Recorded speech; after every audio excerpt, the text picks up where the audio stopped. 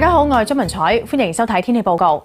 今日天陰陰，驟雨好頻密，咁係同一股活躍嘅海洋氣流有關。而喺中午雨勢就最大啦，咁各區普遍咧係錄到有超過十毫米嘅雨量，而港島更加有超過五十毫米。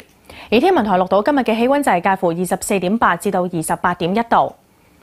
六點鐘氣溫二十五點一度，相對濕度百分之九十七。咁跟住又到天氣先生出場嘅時間。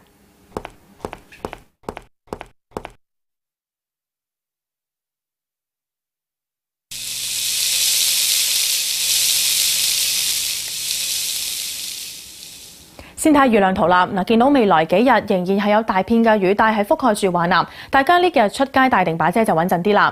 天文台預測大致多雲，有零散驟雨同埋幾陣雷暴，氣溫介乎二十五至到三十度，吹和緩嘅東南風。而展望未來兩三日仍然有驟雨，咁但係接近週末有一道高壓脊會喺中國東南部建立，到時就會見翻多啲陽光啦。而預測空氣污染水平就係輕微至到偏高。預測聽日嘅最高紫外線指數係五，強度屬於中等。最後睇下世界各大城市嘅天氣預測。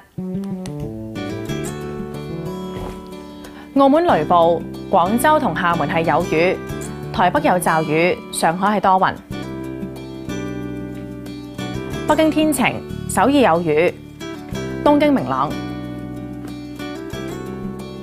曼谷雷暴，吉隆坡有驟雨，新加坡雷暴。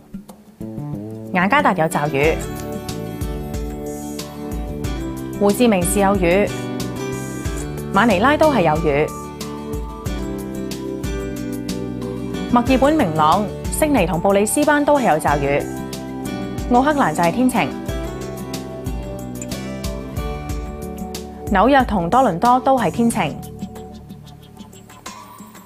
溫哥華天晴，三藩市明朗，洛杉磯天晴。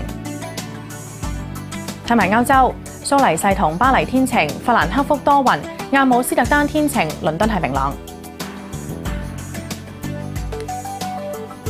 各位，呢一節天氣先講到呢一度啦，拜拜。